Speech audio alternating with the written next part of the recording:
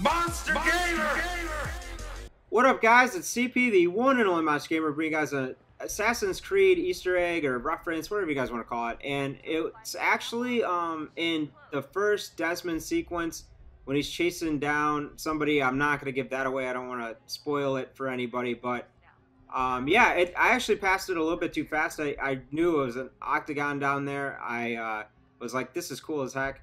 And I'm a huge MMA fan, so I wanted to make a video about it because I don't know. But they're getting ready there, you can see, and uh, whatnot. But if you actually stick around, they will fight, and it's pretty cool. So um, let me know what you guys uh, think of this game so far. Like I've said in some of my other videos, I, I've uh, finished the game, and I, I'm really enjoying just kind of messing around with it. So uh, yeah, never eat soggy waffles. Take care. Be good or be good at it. I'm out. Commentaries, gameplays, and vlogs all are found on CP's channel that you're watching now. But take a small disclaimer, y'all in danger. You're now tuned into the Monster Gamer.